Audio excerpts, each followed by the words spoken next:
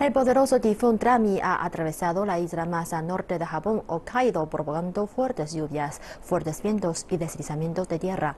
Al menos dos personas murieron y otras 130 resultaron heridas. Otras dos personas siguen desaparecidas y casi 400.000 hogares están sin electricidad.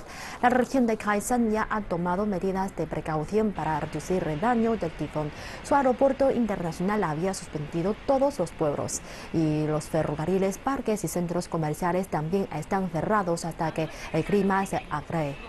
Trami tocó tierra el domingo por la noche en el oeste de Japón, antes de seguir su paso a través de partes de Honshu y Tokio.